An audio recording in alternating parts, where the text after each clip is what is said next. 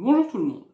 Aujourd'hui, dans cette petite vidéo, nous allons parler un peu de ce que j'ai vu en cours aujourd'hui, et donc euh, une notion que nous avons vue et qui sera donc celle que nous allons parler aujourd'hui, euh, enfin nous allons parler cette année en histoire romaine, c'est les confins du monde romain.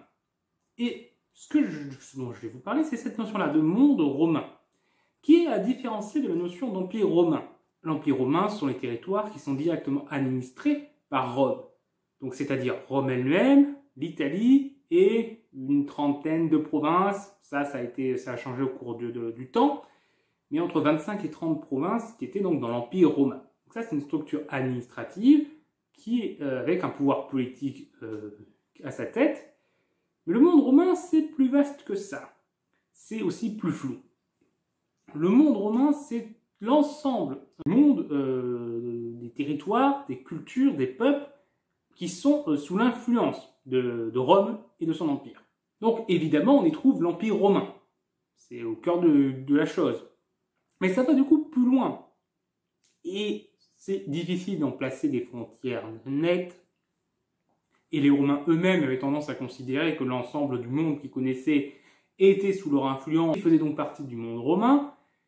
Mais en tout cas, on sait qu'autour de Rome, il y avait euh, plusieurs royaumes qui étaient euh, indépendant de fait de l'Empire romain, mais qui était quand même dans un lien fort avec lui. C'était ce qu'on appelait les royaumes clients ou royaumes alliés, qui du coup euh, sont pas totalement indépendants, mais ont quand même leur propre roi, leur propre structure administrative.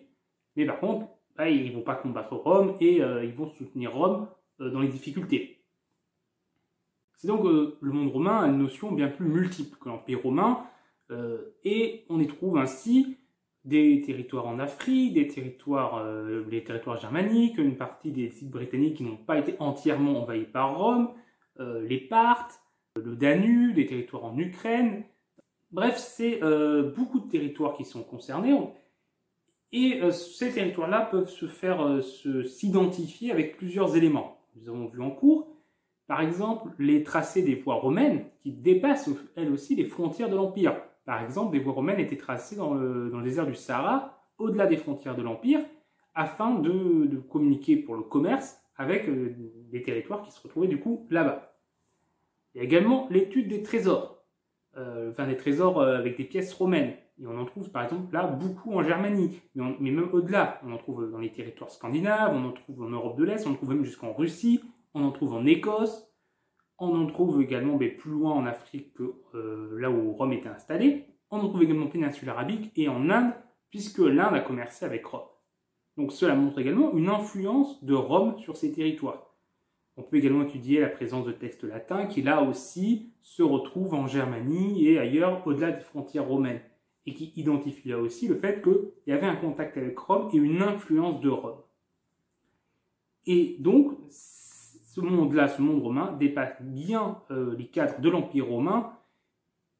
Et c'est donc ce que nous allons étudier, c'est nous, du coup, c'est ces territoires qui sont euh, au, bord, au bord de ce monde romain, en dehors souvent de l'Empire romain en tant que tel, mais qui ont été en contact avec lui et avec lequel il y a eu un échange culturel, un échange économique, et voir comment cet échange s'est manifesté, comment ils se sont influencés mutuellement. Donc c'est globalement euh, ce que nous allons voir en cours cette année, et donc ce, que nous allons, euh, ce dont nous allons également vous parler en faisant part de ce que nous allons étudier.